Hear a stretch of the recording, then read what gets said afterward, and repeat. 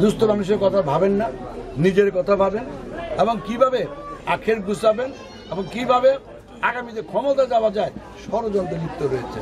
তাই আমরা বলতে চাই, এই বানবাসী মানুষ নিয়ে কে কে রাজনীতি করবেন না, কে কোনো রকম দুষ্টামি করবেন না।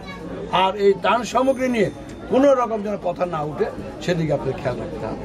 যদি ত্রাণ সামগ্রী নিয়ে এই দুর্গত মানুষের কষ্টের জিনিস নিয়ে যদি কেউ চিনিমিনি খেলেন, দুর্নীতির আশ্রয় নেন, তাকে ক্ষমা করা হবে না। এই কথা পরিষ্কার বলতে চাই। শেখ হাসিনা বলছে, একটা মানুষও যেন না খেয়ে মারা না যায়, একটা লোকও যেন বিনা চিকিৎসায় মারা না যায়, তার সুব্যবস্থা করা আমরা ইতিমধ্যে সেটা বন্দোবস্ত করেছি। আমরা আশা করি আপনারা নিশ্চয়ই অবগত আছেন। সরকার সব শব্দ পাশে আছে। শেখ হাসিনা আপনাদের পাশে আছে।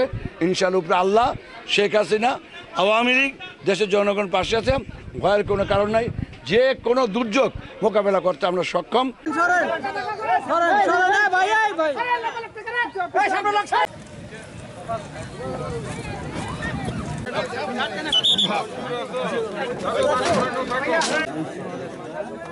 আমি পড়লি কখন? যাব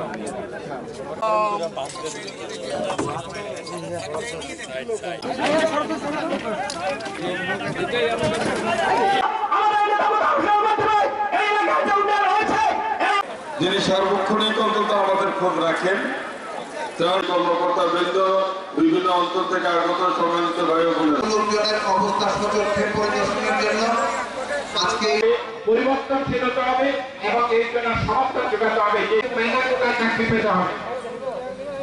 মেধা কোটায় অবশ্যই উনি আমি প্রয়োগ করবেন। উনি শেখ হাসিনার প্রতিনিধি আজকের অনুষ্ঠানের মাধ্যমে আমাদের ত্রাণ বিতরণ চলছে।